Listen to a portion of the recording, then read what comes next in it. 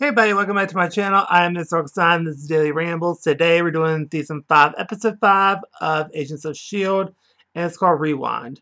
So we start off the um, episode with um, basically it's like the season 4 finale where everyone's at the diner getting food and um, we get a little, we dive a little bit deeper into it where Fitz still feels guilty about what he did and then they get arrested and basically what happens is um, the people disappear then Fitz um, is still there and he kind of freaks out then he gets arrested and he gets questioned and he explains AIDA to the army and then um, they don't really believe him or think he's full of crap and try to put him in prison.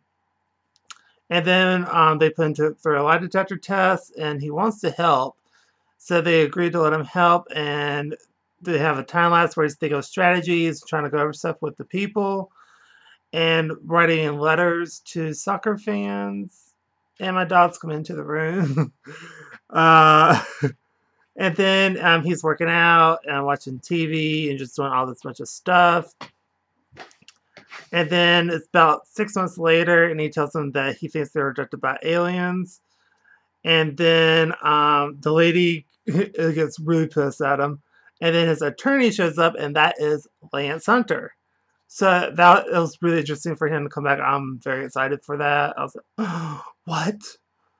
And so then, um, basically, he this is one who's trying to contact him through the letters to the soccer fans to, to kind of piss him off and give him a trail of where he was. And it took him six months to figure it out.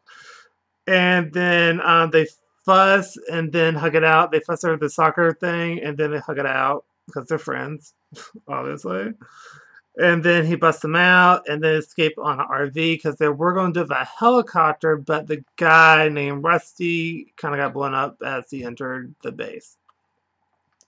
So they talk, and then Fitz um, found the guy that um, basically um, abducted the team, and then Then he finds the guy through, um, basically Rusty was very paranoid and so he kept a bunch of tech on his um, RV. So that's how he was able to find them because he did schematics of the uh, beer truck and it turns out they had transformed into other trucks. So, but the same schematics matched the same original truck so he was able to trap the guy. So he tells them that um, they're in the future, and the guys from the future, he's basically like some type of alien, like 30,000 years into the future. And uh, he says that he can't help him unless we talk to the seer. So Fitz literally grabs a gun, points a gun into his head, like, I demand to see the seer.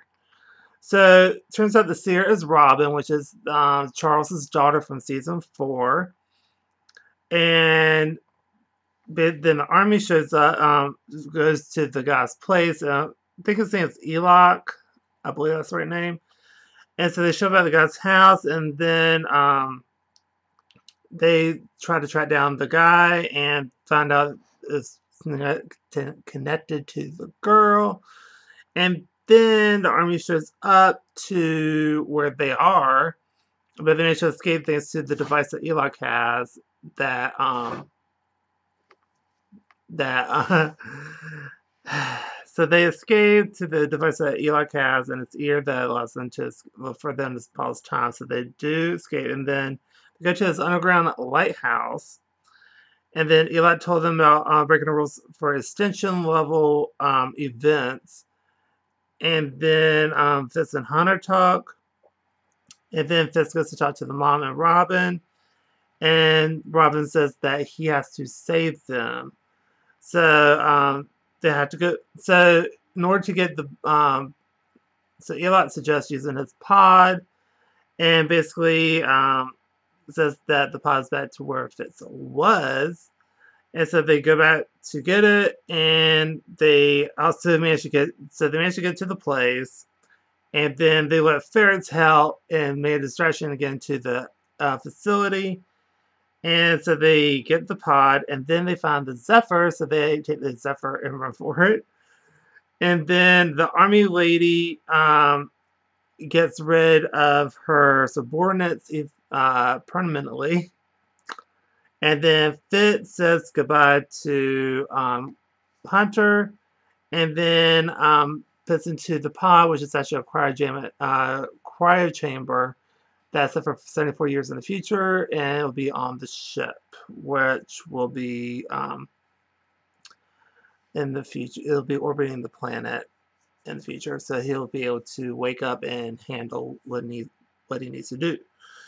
And then um, so he they say goodbye, and then Fitz wakes up in the future, and then Guy has a plan to set in motion. Basically, Guy handle all these thugs and criminals of all time. And he's like, "Do you have what it takes?" And Fitz is like, "I have what it takes." And that is the end of the episode. And now we're on a two-week break, which is unfair. But um, I will give this episode an A plus. I really like the dynamic between everything that's happening. Um, with Fitz and Hunter coming back, that was super awesome. I hope he's in more stuff.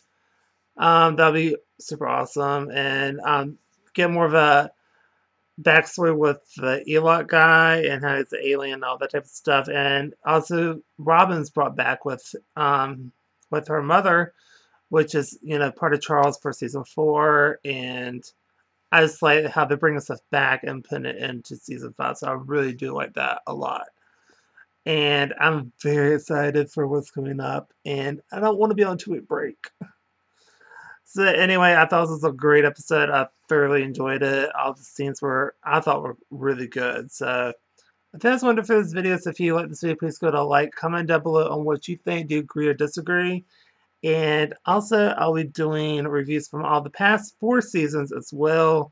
Since we're on a two-week break, I gotta do something. so I'll be doing that as well, and that'll be coming out sparingly throughout the week, um, weeks building up to season to, I mean, the two week break. So anyway, I want y'all, and also comment on what you want me to react to next, whether it's a TV show, music, or movies. So let me know down below down there. Just do it. And to subscribe, and I'll see y'all next video. And I want y'all to have a super duper awesome day. Bye, everybody.